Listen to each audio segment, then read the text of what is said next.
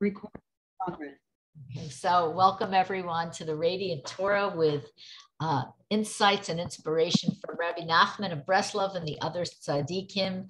And um, we want to thank Dr. Eleonora Gudis for sponsoring this shiur week after week. We get to enjoy the weekly Parsha with a lot of um, hopefully inspirational commentary.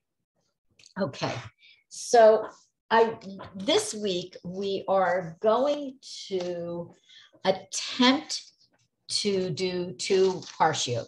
And the reason is, is because we have coming up this Shabbat after Yom Kippur, we have Parsha Ha'azinu. And then we have Sukkot. And then on Simchat Torah, we have the um, we have the uh, uh, last parsha of the, to- of the Torah, um, Parshat V'zot Habracha. And so, what I want to do is quickly give you an overview. Ha'azinu is a very special song, and that's the whole parsha is a shira, okay, and that's a song of prophecy.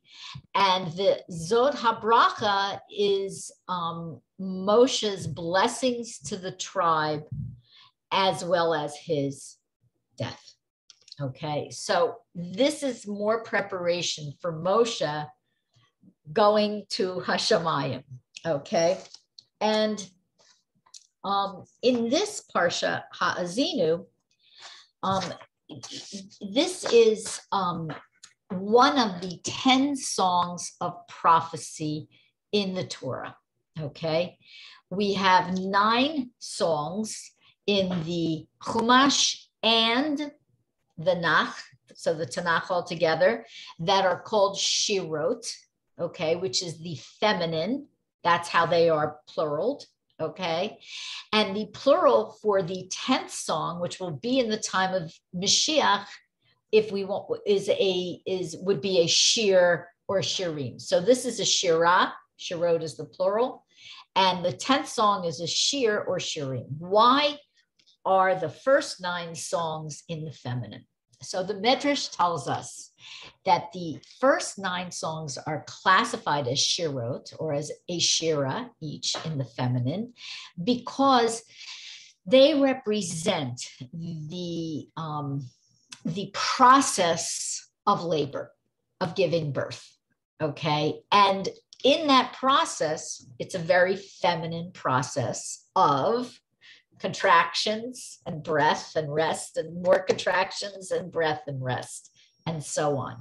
And the nine of the Shirot, nine of the of the Shira, okay, they are representing the feminine. Okay, the tenth song represents the masculine, which is the completion or the birth. Okay, so we understand that this is a very, very special parsha. Not that every parsha in the Torah isn't, every parsha in the Torah is, but it's a um, it's a unique parsha in that this is the whole, whole parsha is basically Moshe's song. And Moshe sings this song, and then later on in the parsha, he and Yehoshua are going to teach the Bnei Israel, the children of Israel, the song. So we have a song. It begins with a song. So what is this? Um, what is this with a song? So I want to just read you a little bit, or at least refer to a little bit of what um, Reb Noson says, Rebbe Nachman's leading uh, student, scribe, tzaddik, Talmud Chacham, and so on. He says, look, Ha'azinu contains a lot of rebuke in it. It contains a lot of praise and positivity as well, but it contains a lot of rebuke. Why is it called a shira, a song? You know, you don't think of a song as scolding someone or correcting someone. You usually think of a song, at least in the context of a song of prophecy, something more uplifting. So Reb Noson explains that Moshe Rabbeinu, Moses, our teacher, was able to really not only intellectually understand, but fully with every fiber of his being, understand all the deepest meanings of the Torah. And because he was at such a deep level, he could affect a kind of um, a kind of a forgiveness for transgression. Okay. And of course, this is appropriate for this time of year with Yom Kippur coming up in two days. So, um, because he could do this, he could take this rebuke embedded within the song and transform the children of Israel's errors and missteps into merits. Okay. That's why we call it the song. Because even though there is a lot of rebuke in it, when Moshe sings it, it's a song of love. It's a song of love for the Jewish people. Moshe describes Hashem's love for the Jewish people, the uniqueness of the Jewish people, as well as prophecy for when we mess up. And when we mess up and we need correction, that correction comes sweetly in this Shira. Okay. So the Parsha begins Ha'azinu Hashamayim va'adabera. Okay. So listen, heaven. Okay. Talking to the heavens. Okay. Uh, and I'm going to speak. The Sishma Haaretz Imrefi. And may the earth hear the words of my mouth. Okay, so Moshe begins Ha'azinu by saying, hey, listen up, Hashamayim, the heavens, and listen up also, Haaretz, the earth. Okay, um, and the reason that he uses this beginning is because heavens and earth are eternal. They are eternal witnesses to the Torah, eternal witnesses to this song. Okay. It's no good saying to, you know, Mr. Mr. or Mrs. Jew standing there listening, hey, listen up, pay attention. You're my witness because this is an eternal song. And each person, of course, is an eternal. Our souls may be, but as a, as a human being, we're not necessarily eternal. So first Moshe Rabbeinu is calling the witnesses. Moshe is calling the witnesses. Okay, now he he uh, continues. Um, Ya'arof kamatar likchi tizal katal imrasi. Okay, may my Torah, my teachings, drop like rain, and may my um, my words or my utterances flow like the dew. Okay. So Moshe is comparing the Torah to rain. Why rain? Rain is essential to life. Without water, okay, there is no life, okay, without other things as well. But when we think of, uh, let's say, being in a desert and feeling weak and needing something, we need water. So we can compare in our heads the whole world to a desert and what do we need to feel alive, to revive ourselves? We need rain, we need dew, we need water, we need Torah. Okay. Torah is compared to really the waters of life. By Torah, so many of you already know this, but there might be some of you who need a refresher when we speak about Torah that we can be referring to a few different things we can be referring to the Torah scrolls, which contain the five books of Moses, okay, the Chumash, okay, like for Chamesh, five.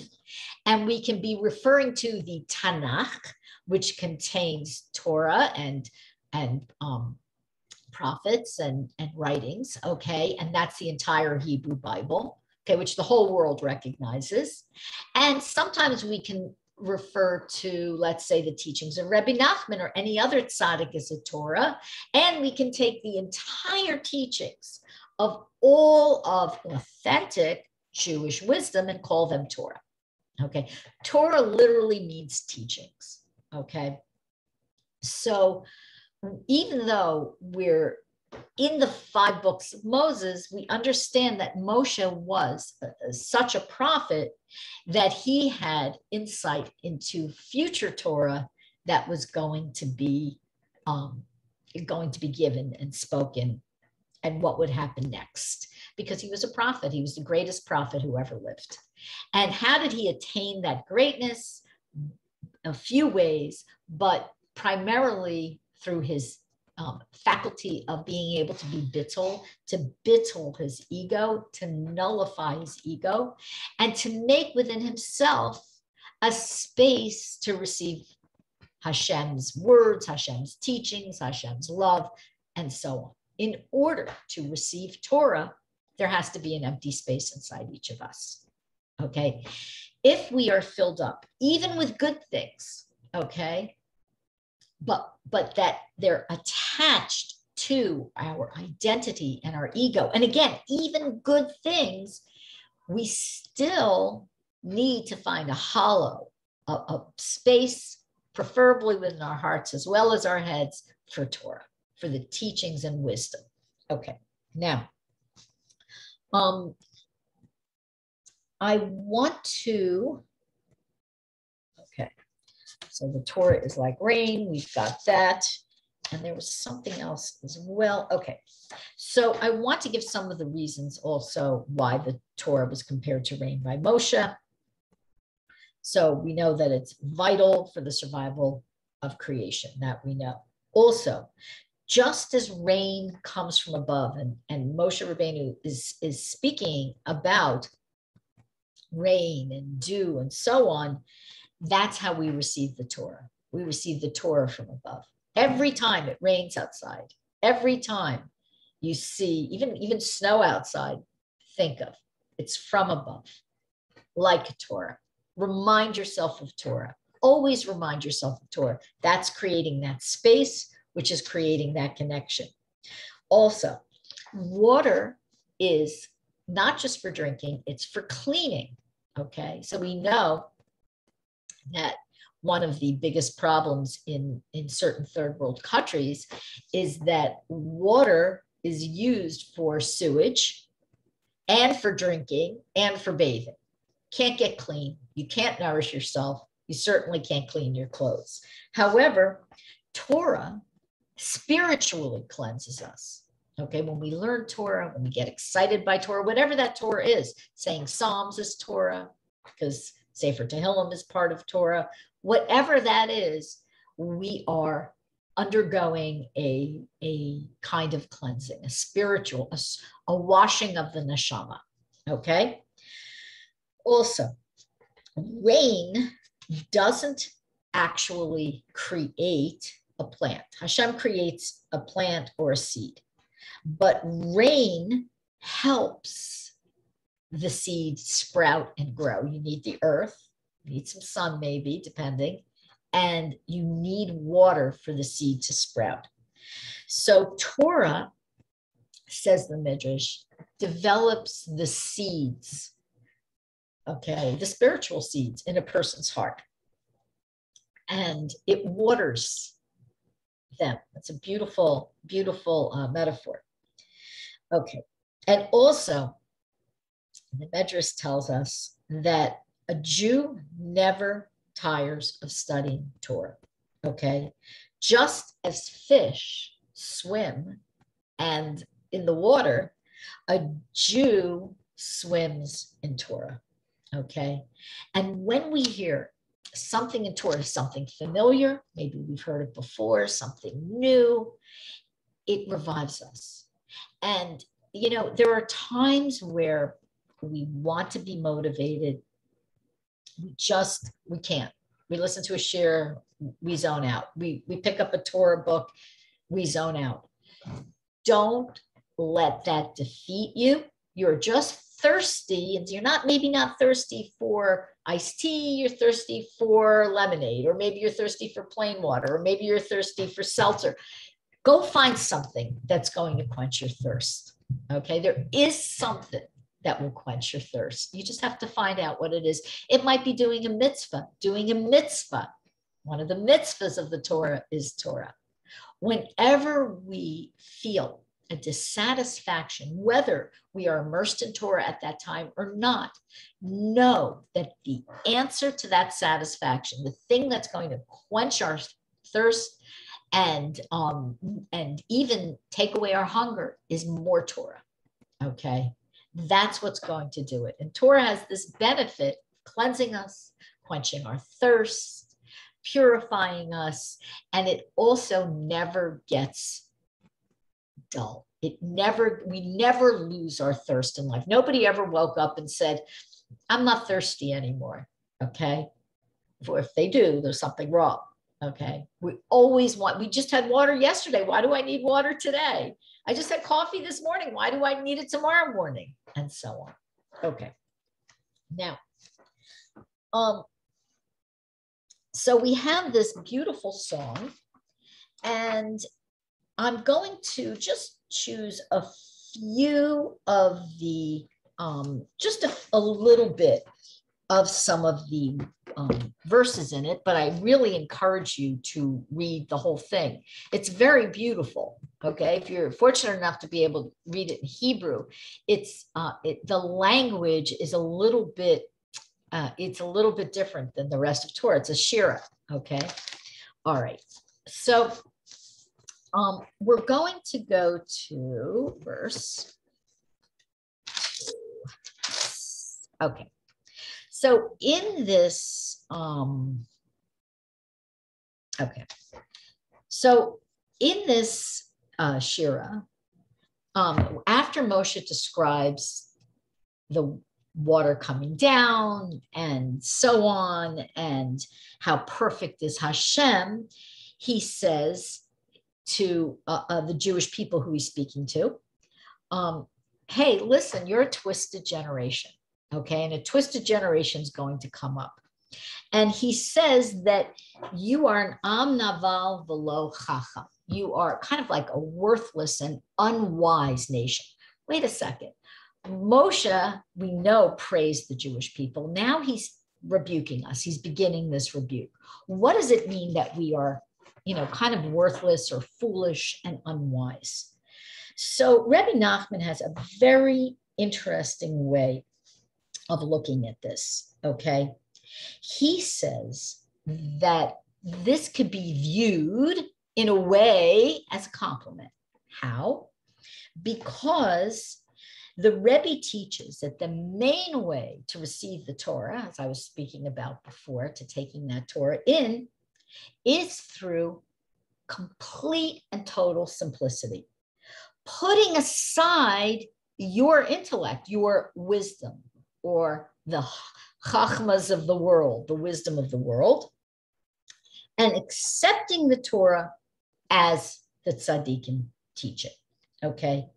And this is something that is a big theme of Rebbe Nachman. And the theme is, is like this, is that our way of thinking, each of us, however you were raised, okay, doesn't matter where you were raised, how you were raised. Our way of thinking is constructed from birth. We have our inclinations, and then we have been brainwashed. Okay.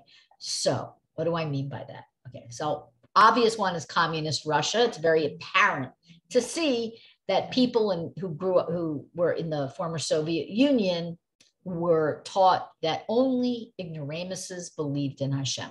Okay, all people were taught this, not just Jews. Okay, and that it was somehow something low to believe in God. Okay, this was the the the Soviet chachma wisdom, the Soviet wisdom, right? Okay, and, only, and great people were scientists and thinkers and and relied on science and knowledge okay which of course we know science changes all the time from year to year to year and the idea in the former Soviet Union was, was anybody who believed in Hashem was lesser. What do we have in America? We have very similar today, believe it or not. People don't like to hear this comparison, but it's true. Okay. Follow the science. But, but what is the science? The science is always changing. Okay. We have been taught in the West, I'm not going to talk about the East, but in the West, to kind of worship science, okay? Or alternatively, to worship the arts, okay? If you have a depending, all right?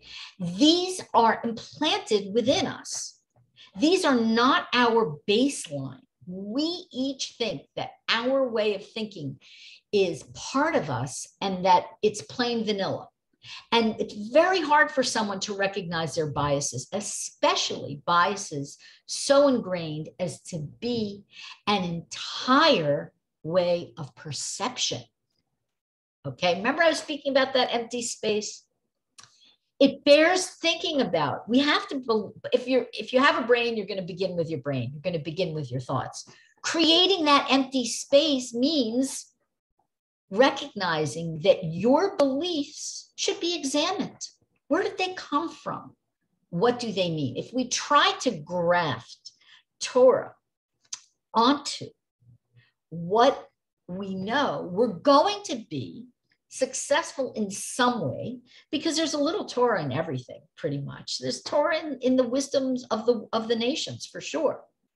But it's still going to be a graft. It's it's not necessarily going to produce a fruit that is that is whole.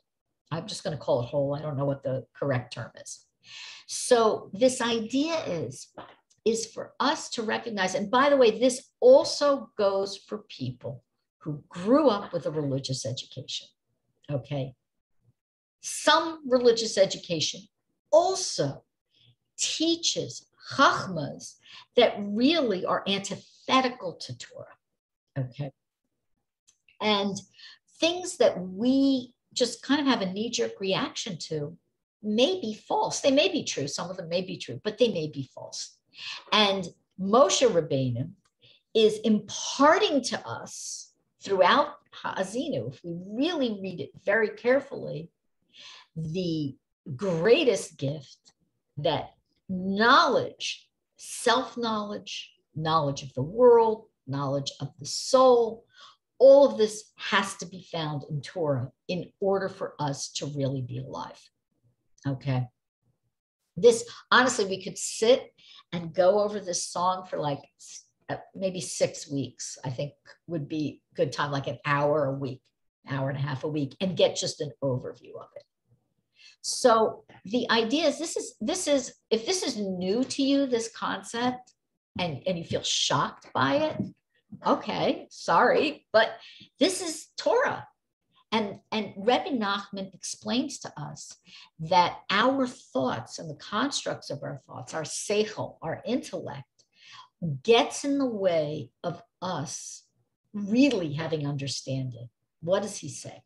It's not only him who says it. The tzaddikim tell us that if you want real wisdom, what do you begin with? Emuna, faith. Because faith is going to add a layer to your understanding and knowledge. And when you see things through the lens of emuna, okay, suddenly there's an a, a kind of wisdom you, you can articulate some of it and not some of it. Emuna itself is a kind of wisdom. Faith itself is a kind of wisdom. Okay. Unfortunately, you can't necessarily learn Emuna in a book. You can find inspiration for faith in a book, but in order to really learn Emuna, it takes time. And it's worth learning Anything worth learning usually takes time. Rebbe Nachman says, embrace simplicity, embrace the teachings of the tzaddikim, because the teachings of the tzaddikim, Moshe Rabbeinu at the head of that list, and, and Rebbe Nachman and other true tzaddikim are going to be the teachings that are going to give you genuine wisdom, and they're going to teach you how to think. Okay. That's really what education in schools used to be in secular schools and universities. At least that was the pretense or that was the goal or the stated goal was we're going to teach you how to think, how to how to view something. But the kind of logical steps may not always be applicable in Torah. There's a different kind of logic, the logic of Bina. Okay. And Bina is a, it's often translated as understanding, but it's actually the ability to take disparate bits of information and pull out an insight or a truth from them greater than the sum of its parts. Okay. Also, AKA women's intuition. Okay. All right. So, um, Rebbe Nachman has a very special way of reading that verse. Verse, okay. This this um, unwise nation. Okay, what time is it? Okay, I don't want to. I really want to be able to divide this up so we can get to the Zos Habracha. Okay, now the um, the Torah also, this Ha'azinu also has a verse about Hashem comforting us. Okay, just one second. Okay, and the last part of Ha'azinu, the song, is that there's comfort for the Jewish people because there was a lot of rebuke. I mentioned there was rebuke. We don't have time to go verse by verse. But the last part is comfort and the divine promise that justice is going to be given to the oppressors, the people who oppress the Jewish people. On the surface, that's the Pshat reading, okay, which is very valid. Okay, we'll talk about that in a minute. But also within ourselves, okay, we can use this to comfort ourselves and know that if we want to really embrace this comfort fully, we have to mete out justice to our inner oppressors as well, our Yetzer Hara. Okay, the, the inclination that leads us to despair, sadness, depression, bitterness, anger, uh, lack of lack of emuna, um, and so on and so forth. Okay. So everything we read in Ha'azinu, we can read it pshat, and we can also read it at so many other levels. The level that Rebbe Nachman gives us such beautiful insights into is the psycho-spiritual, us as a human being. Okay, what are we going to learn from this? Okay, it's very nice. Our enemies are going to get theirs. Okay, but what can we take from it? It, it personally. Okay. All right. Now, Hashem will comfort us, and He also gives us the explicit promise that Hashem is going to resurrect the dead. Techiyas hamesim, techiyat hametim. Okay. Now, existence for humankind or for creation is divided into five periods.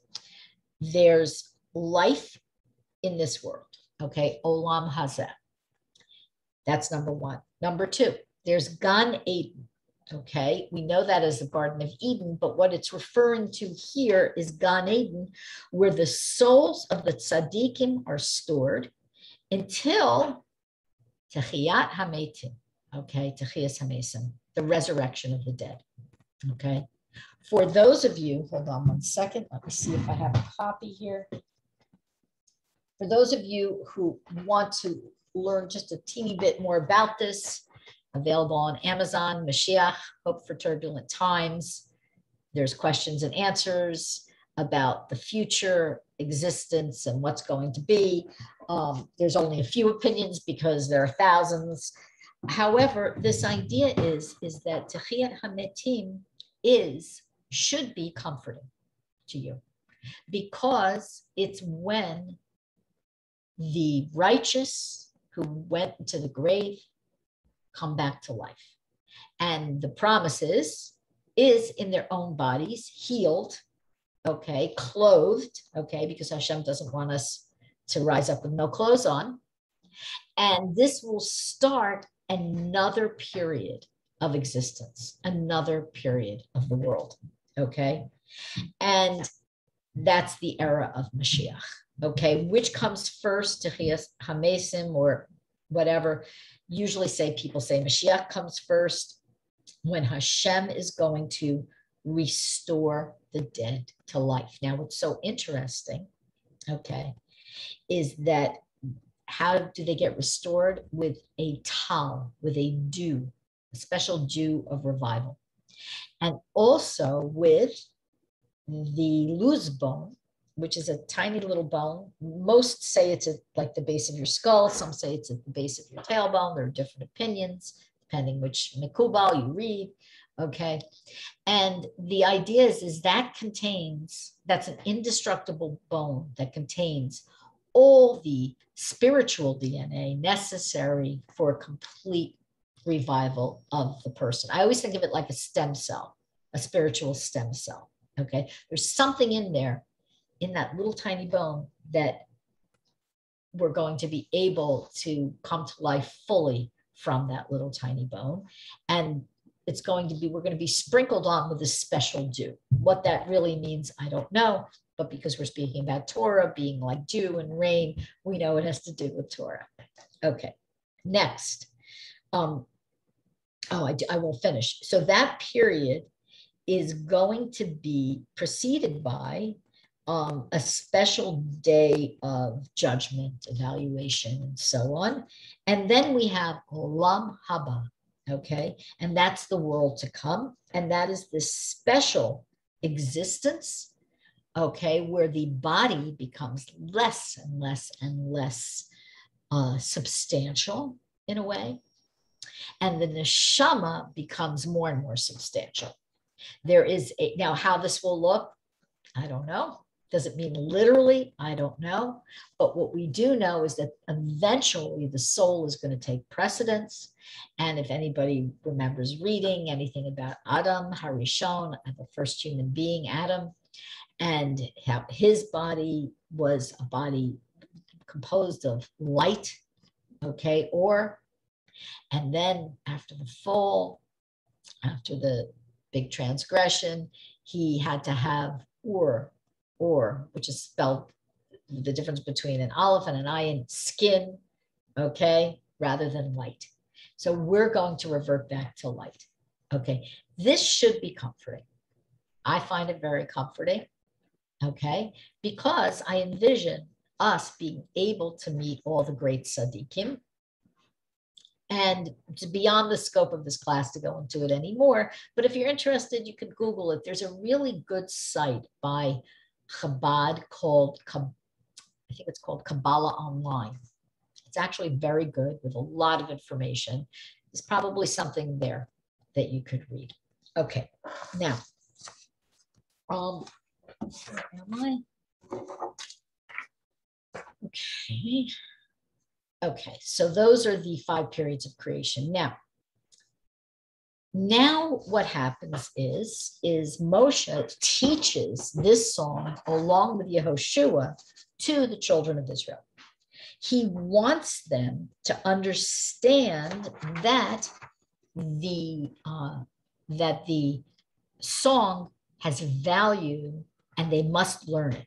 So when you read it, okay, you're going to hear it this Shabbat. Okay, maybe you'll reread it if Hebrew is not your first language, read it in English as well. And take this and find some commentary for yourself on Ha'azinu. If you have even the like um, the I don't I don't remember the name of this uh, particular Chumash. What is this? This uh, the Stone Edition Chumash with a great translation has some commentary but really we should learn this song. This was Moshe's second to last act. Okay. This was Ha'azinu, the song. We should learn it. Okay. Now, he teaches us the song and he alludes to the fact that the Torah, every single line, dot, okay, nakuda, vowel, whatever, is vitally important. It contains meaning after meaning after meaning. Okay. So I wanted to give you an example. So we know the Zohar. Okay, everybody knows the Zohar Kodesh, written by Rabbi Shimon Bar Yochai. Okay, a major Kabbalistic text. The Zohar is actually a commentary a Kabbalistic commentary on the five books of Moses. Then there is something amazing called the Tikkunei Zohar. And this was written also by Rabbi Shimon Bar Yochai with his son Elazar, and also with commentary supplied by who? Contributions from whom? The Ra'aya Mehemna. That means faithful shepherd in Aramaic. And who is this faithful shepherd? Moshe Rabbeinu, Moses, our teacher. And Moshe is called the faithful shepherd. If you notice, all the Avos were shepherds. Being a shepherd is a good thing in the Torah. Rabbi Nachman refers to it in, um, in his text, Azamra, as well.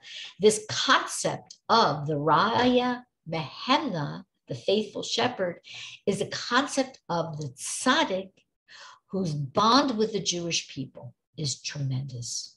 His love for the Jewish people and his willingness to toil, to uplift and save and help and teach the Jewish people is beyond compare. And so they can even be considered two, um, just two names for the same thing. Tzaddik Emet, Tzaddik Emet or Tzaddik Emes, the true Tzaddik, and the faithful shepherd. And this idea is is that in the Tikkunei Zohar, Moshe's neshama came and gave commentary to Rashbi, to Rabbi Shimon Bar Yochai, to his son Elazar, and also also other neshamas came down, other souls came down, including Adam, the first man, the first human being, excuse me, and Eliyahu Hanabi, Elijah the prophet, and others. And they came to give their teachings into this amazing book. And what was this book? And why did I take the long way around? So you have to understand the greatness of this book. This text is a commentary on the first word in the Chumash and the Torah. Breshit, Breshis. Okay, in the beginning. The Tikkun Zohar required all those great tzaddikims, neshamas, neshamot, to come just to give commentary on word one of the Torah. So, what is this? What is this idea here? This idea is to show us that every dot, every line, every every shape of every letter, you know, there's some large letters and some small letters. Every word, every paragraph has a meaning and layers and layers and layers of meaning, meaning we can't even begin to scratch the surface of. And Moshe wanted to impress that upon us, okay? And the idea for us is to know that our job, okay, as the sages say, is to toil, but not to finish. We're not going to finish. Okay. We're never going to finish toiling in Torah. It doesn't matter. You can be the biggest Talmud Chacham in the world. You're not going to finish because there are layers and layers and layers and layers and layers of meaning. Okay. So, with our foolishness and our unwiseness, okay, which is Rebbe Nachman's beautiful, positive way of describing um, uh, uh, describing what that really means. We also have to realize and recognize the pshat, the simple meaning. Yeah, we don't know anything. And as Rebbe Nachman said, the more you know, okay, he said, now I really know nothing. The greater his knowledge, the more he realized how little he knew. And so for those of you at various stage of your Torah journey and your Torah le- learning journey, you will recognize, you will get to a point that one day that seesaw is going to you're going to be going up and up and up. I know this and I know that. All of a sudden, that seesaw is going to go clunk because the weight of what you don't know that is going to overshadow. And when that happens, you will have tasted the sweetness of Torah because you'll be so excited that there's so much you don't know. so much to chase after and, and imbibe with that dew, that rain that we spoke of, that water that's going to give you life. Okay, now we covered, we did a very quick, quick, quick overview of um, Ha'azinu, the song. Um, and, and if you came in late, I really would like to suggest you go back to the beginning because it really all ties together what happened at the end and what happens in the beginning. And now we're going to go to the next Parsha, which we're going to read on Simchas Torah. And when we finish, then we go right back. If you go to Shul, you will see they're going to go and start Bereshis or uh, Bereshit. Okay, they're going to start right from the beginning again. It's a very joyous celebration, and it's really worth being there for the beginning and the end because each of us is a part of it. Each of us has a letter in the Torah. Okay, so come be a part of it. All right, if you can.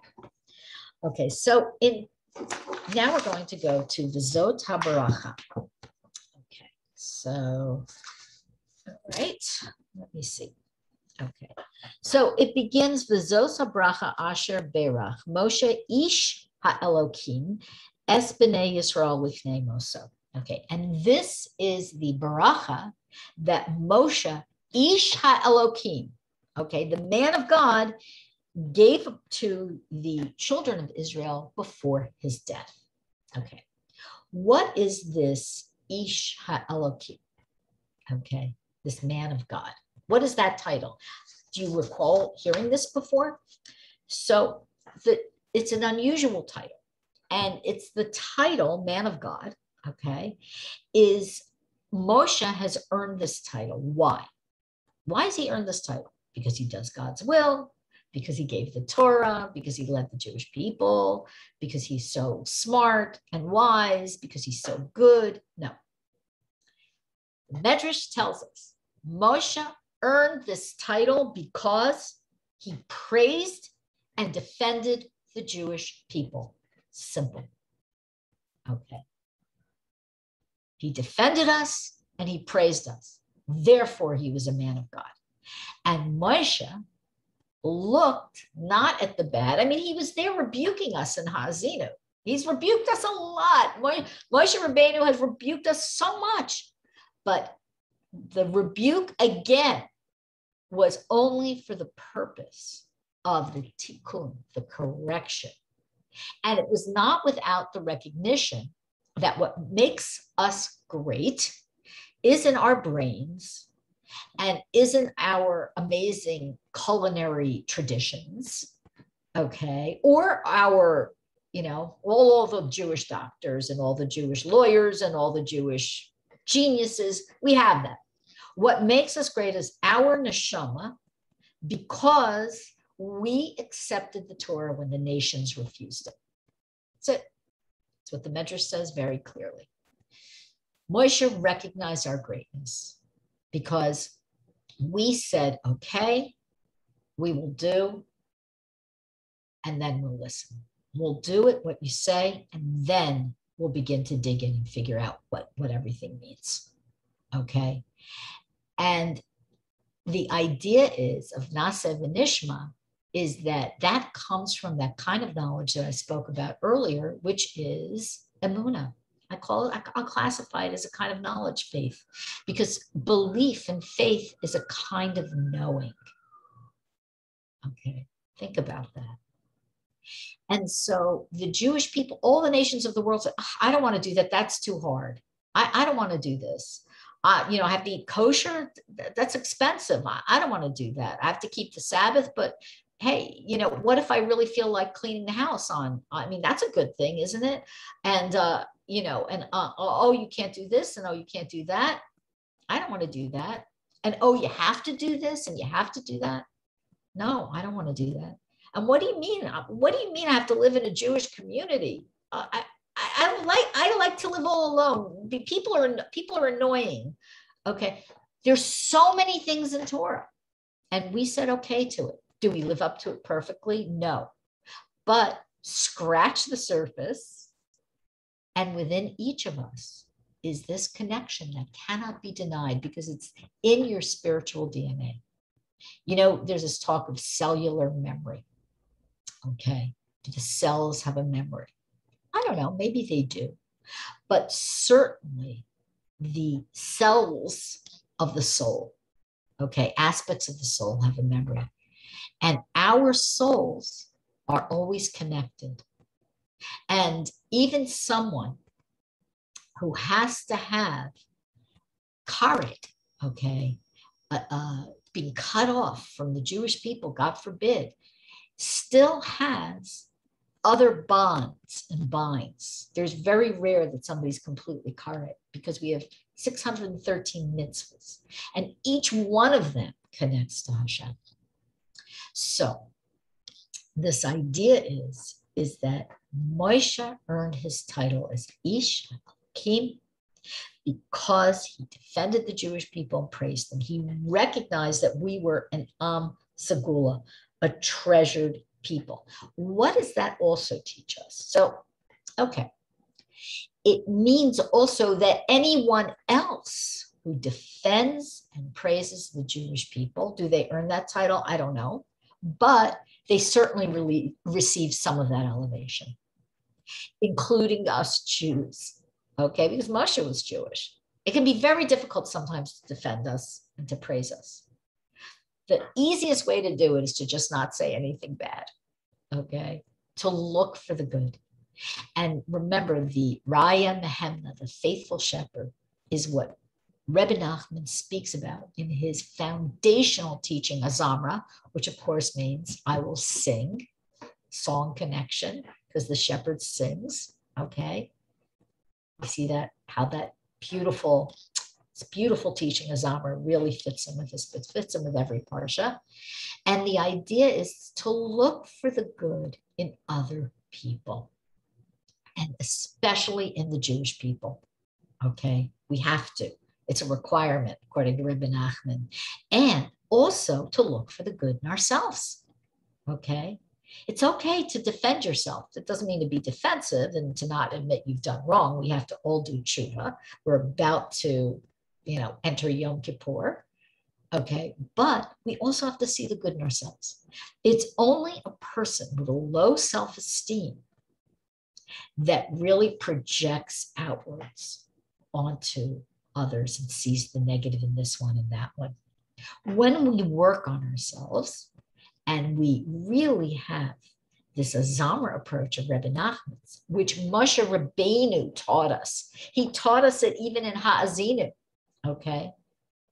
He praised us. Okay. And he's praising us in V'zot Habracha as well. Because of this, he's an Ish HaElohim. And we can learn from that.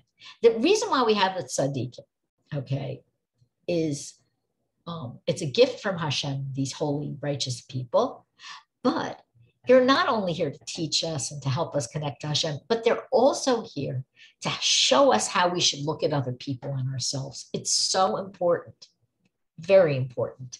Okay, now, um, let's see, what time is it? We have a little, I, I'm, I really don't want to leave until we finish this. So if anybody has to go early, I think we might run a little over. I'm sorry. I apologize. Okay.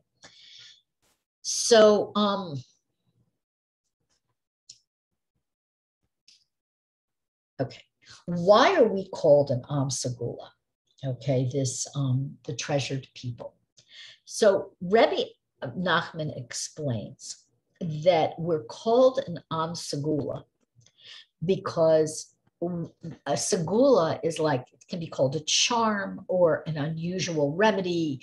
It's not always so obvious why it would heal or why it would fix things. So there is a, you know, there's a segula to light a candle for 40 days for this tzaddik and that tzaddik. Why does that fix something? So we have to really dig deep to find out the whys of the segula.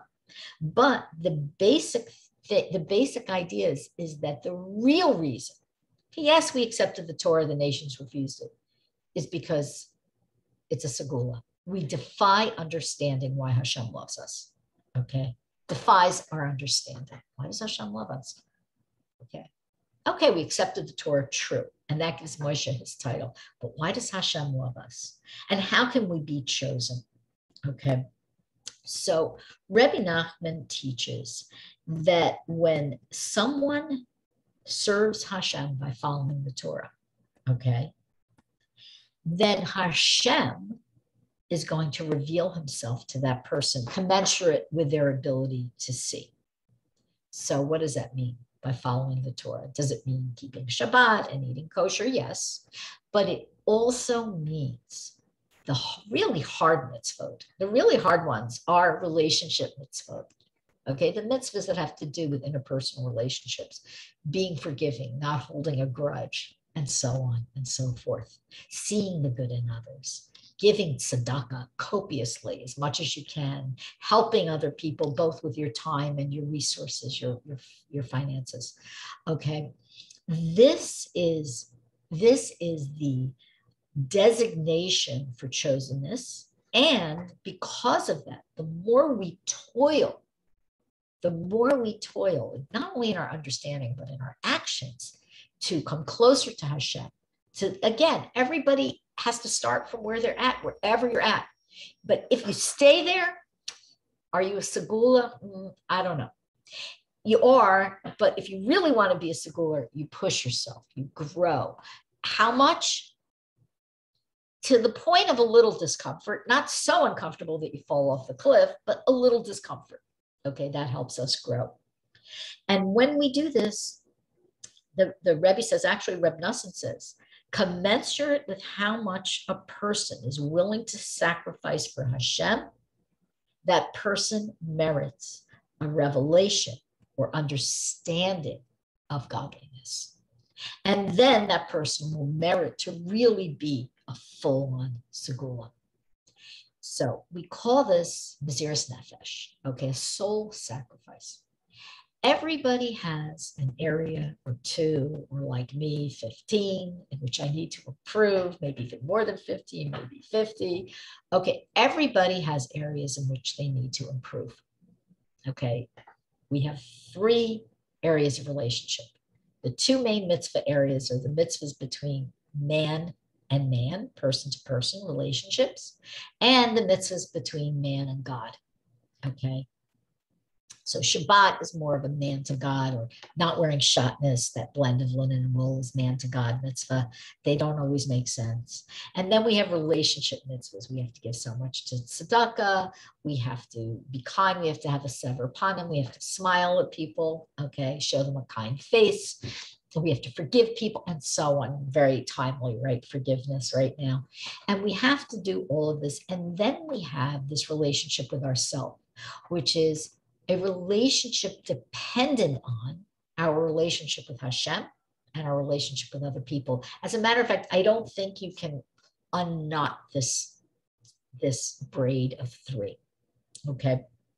And when we begin to really live with a little Mesiras Nefesh, a little soul sacrifice, okay? You have children, you know what a sacrifice it was. You wake up in the middle of the night, Okay, everybody's, you know, you wake when you wake up, you've had a baby, you have one baby that sleeps through the night and the other baby that cries every 30 seconds, just when you go back to sleep. Okay. You know that you don't get what you want, you buy your kid what they need. Okay. You know, if there's a trade-off. So we do this for Hashem too. And ultimately, we're not real, we're doing it for Hashem out of love for him, but ultimately we're doing it for ourselves because Hashem doesn't need us to love him. He loves it when we love him. He yearns and desires for us to love him, but he doesn't have a need because he's perfect and complete without it. Okay. He doesn't need anything from us. However, he loves us so much that he yearns, he has a desire for us to love him. Why? For his sake? I don't know. Maybe. However, for sure, for our sake, because our love of God is instructive to us as human beings. We can't grow without it. So, people who grew up with this very idea of a punitive God or a, you know, um, very often in some of the evangelical strains of Christianity, I'm just giving them as an example, and also in the past in some strains of Judaism, it's just this whole thing of punitive, punitive, punitive. I had somebody say to me, um, she said to me that she uh, grew up wait thinking that Hashem was waiting for her to mess up. That was her life. Oh my goodness. Can you imagine? No, Hashem loves us. You're his segula. You're beloved to him. He treasures you. Okay. So we want to remember that. And we want to take that idea and go with it. Okay. That's how we embrace and accept our chosenness. And again, the Jewish people, yes, we're chosen because we accepted Torah, but we're also chosen for irrational reasons. They're irrational reasons. God loves us. Why? I don't know. We can be very annoying. Okay. Some of us can. I can be very annoying. Okay. But God loves us. Okay. And the more we love Him back by doing the, the, living the paths and walking the paths that he recommends for us okay the more he reveals himself to us. You know you could sit and study kabbalah until you're blue in the face but if you're missing that service component of hashem you have no revelation of godliness at all. Yet someone okay who can put an extra coin beyond their 10%, beyond their 20% into tzedakah. Because Hashem says this is a time of year you give tzedakah above and beyond. Okay, most of us give the regular, above and that person merits. For, for 10 cents, merits a revelation of godliness. It's quite amazing. Okay, now uh, we're going to keep going. All right. Um, Moshe describes Hashem's love for the Jewish people. He says he loved the tribes greatly. And he then goes into this blessings of the tribes. Again, we can't go text line by line, text by text. We're unable to do that today. However, However, please read the Parsha. It's fascinating, the blessings for the tribes. Okay. Unless um, your family are Kohanim or some Leviim, we don't know what tribes we belong to. Most of most of us do not have, you know, that's lost in tradition. When Mashiach comes, we'll find out what tribes we belong to. That's what they tell us. It's going to be interesting. Okay. So then Moshe blesses the tribes. As a matter of fact, that shows why he is the Ra'aya Mehemna, the faithful shepherd. He loved us so much that his last act before he died, what? To bless us. He sat and he blessed each tribe with so much love. Isn't that beautiful? That's his last act. Okay, now, um, second. Oh, read. Oh, this is so beautiful. Okay. So Moshe died. Okay. He passed away with a um, like a divine kiss. Okay. There, there's a special thing about his death. Um, but what I want to talk to is a little bit about um, what the spiritual aspect of some of his death is. And this is what Reb Noson explains. So first of all, the name Moshe Rabbeinu. We usually call Moshe, Moses, Moshe Rabbeinu. Moses, our teacher, okay? A Rebbe is a teacher. So a rabbi is a teacher too. So Moshe Rabbeinu, okay, Moshe, our teacher, has the, has the gematria of 613. We know what that is. Those are the mitzvot of the Torah, 613 mitzvahs in the Torah. Okay. Now, the Zohar says that Moshe's passing was at a very high level called the Ra'ava de Ra'avim, which is Aramaic also. And it means the will of wills, the highest level of divine will. There was something very unusual about his leaving his body in this world. And that's because his entire being was geared towards serving Hashem bringing Hashem pleasure and joy. that is a part of the a component of Moshe's love for us. Okay. How do you bring a, a parent pleasure and joy? You praise their children, you love their children. Moshe loved Hashem's children and he wanted to give Hashem pleasure and joy through this. And because his life was dedicated to giving Hashem such nachas, okay, he aroused this special uh, ratzon, the special divine will and favor. Okay. And what Reb Noson reminds us from this is because Moshe was sick, Moshe Rabbeinu was 613, and there are 613 mitzvahs, and Moshe attained this special sweet love of Hashem, this special will of Hashem. When we learn the mitzvahs, when we engage in the mitzvahs, all 613, obviously we can't do all of those today. We don't have the Beit, HaMikdash, but we also we also arouse this divine will on us. The more we do mitzvot, the more Hashem's will comes down to us. Okay. It might be, it might feel very slight, might not notice it, but the more there are mitzvot in your life, the more you feel that sweetness in the relationship. Okay. So um, Moshe passed away. And whenever I read the, the whole Parsha, two places in the Torah where I cry. When, when um, Yaakov and Yosef are re- reunited, I lose it. And then also here, I'm losing it now. It's just so touching, but we're not reading every verse, so I don't have to really sob. And, you know, Moshe left us, he didn't leave us alone. He left us Yehoshua, and we have the tzaddikim who can guide us, especially Rebbe Nachman, who can guide us in this life to connect with Hashem, to connect with the Jewish people, and to connect with ourselves and really understand who we are. Thank God, but it's still sad. Okay, now we know that Moshe lived 120 years. Okay, why 120 years?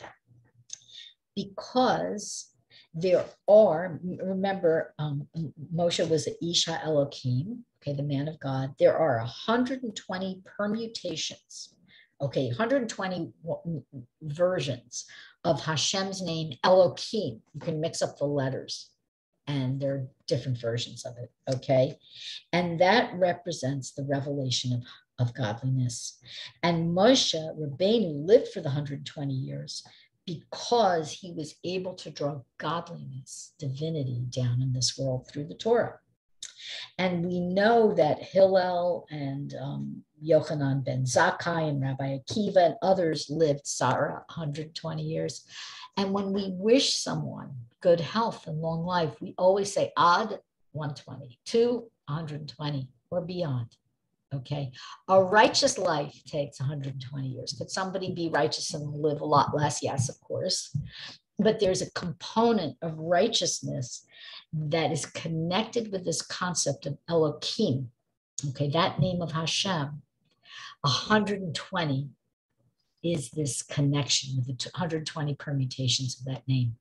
And Elohim is the name, when we use the name Elohim of Hashem, it is a name that um, means justice and righteousness and even judgment to a certain extent.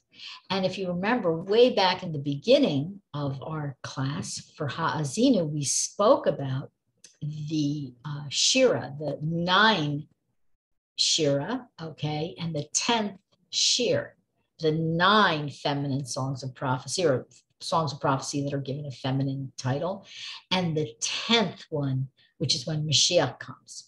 And we learn that right now we have this definite, um, we, we need all Hashem's mercy in this world, okay?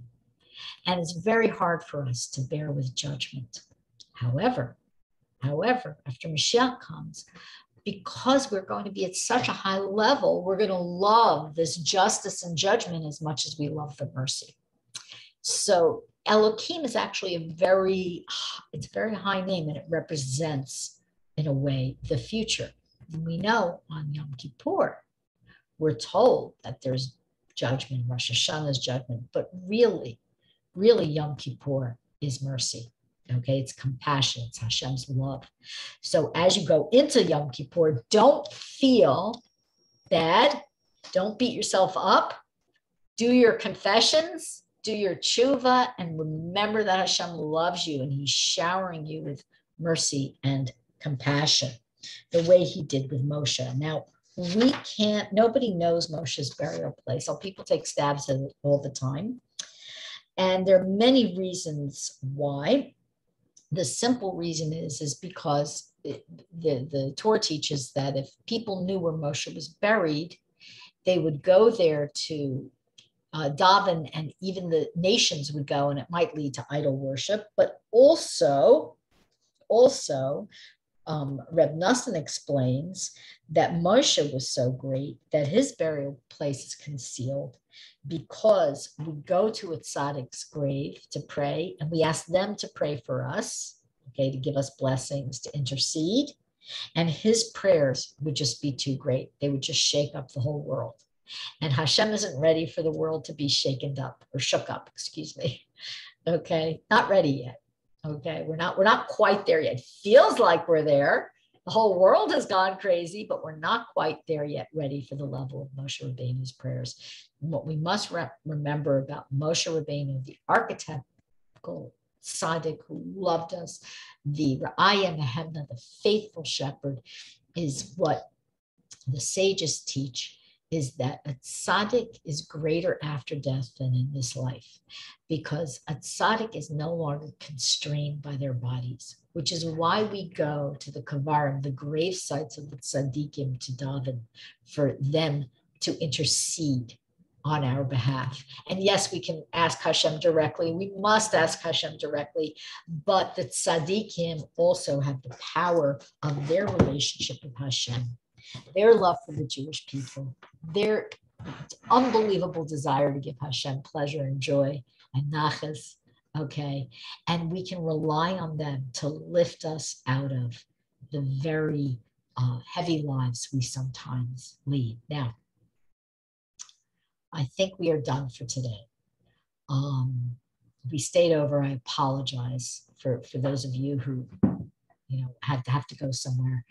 Before we go before i say wish you a good year are there any questions or comments? Okay you can unmute yourself or you can type. No? Okay. All right so i want to say to you all Gemar Chatima Tova, Gemar Chasima Tova. Uh, really, you should be sealed for a very good year um, have a meaningful fast, an easy fast. May it really be a, a time for you of healing and remember that Hashem's mercy is with us on Yom Kippur, his compassion, his love for us. We want to connect to the day at that level. At least in Breslov, we really do. It's a sweet day, a holy day. Okay. And I wish you all the best and, and, and God willing, we will see each other in the coming year. Thanks again to Dr. Eleanor Budis for sponsoring these Shiurim, and I look forward to seeing you. All the best, everyone. Thank you.